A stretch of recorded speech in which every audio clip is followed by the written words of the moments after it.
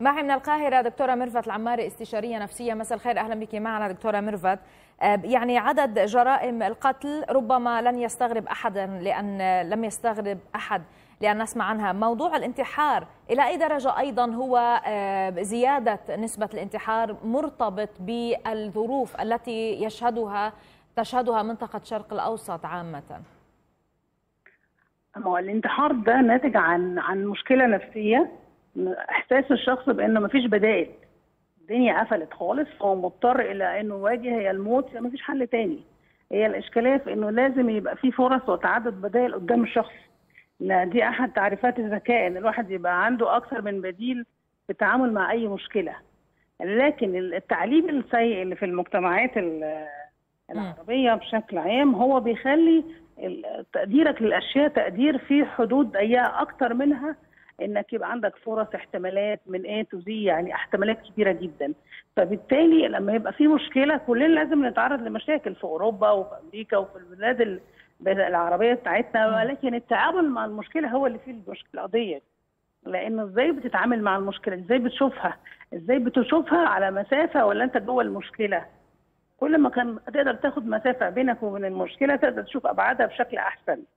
ويساعدك في ده المختص كمان. نعم. يعني كمان إحنا عندنا إشكالية إن مش كل الناس تقدر تروح لمختص.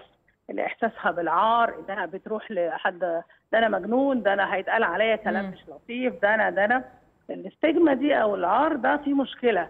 وده ناتج زي ما قلنا كله يرجع للتعليم. التعليم الجيد بيخلي الناس تفكر بطريقة مختلفة. في إدارة حياتها وفي التعامل مع المشكلات ولو واجهتها مشكلة مش قادرة تتعامل معاها تروح لمختص يساعدها. طيب دكتورة ميرفت. دايرة مفرغة. عندما نتحدث بأنه حسب ما ورد في الشرق الأوسط اليوم بأنه الرجال أكثر بالتحديد الرجال هم مهددون بالاكتئاب بسبب العنف. نفسيا إذا ما أثرنا الموضوع لماذا الرجال بشكل خاص أو خاص أو أكثر من النساء؟ الرجال عندهم إشكالية في طريقة تفكيرهم إن هم بيفكروا بطريقة إن هم ما يقدروش يعبروا عن مشكلاتهم زي الستات. يعني الستات تتكلم في مشكلتها مع أي حد وهي مش محتاجة الحل قد ما محتاجة إنها تتكلم عنها. وتتكلم عنها أكتر من مرة. كل كل مرة تتكلم عنها بيخرج إحساس مضايقها إحساس بالغضب إحساس بالضيق بيخرج لما تحكي عن المشكلة. يبقى جميل لو لقيت لها حل.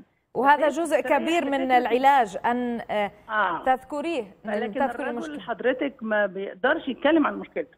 مش العادي الرجال ما عندهمش قدرة تعبيرية عالية على وكمان ما يحبش يبان إنه عنده أزمة عنده مشكلة.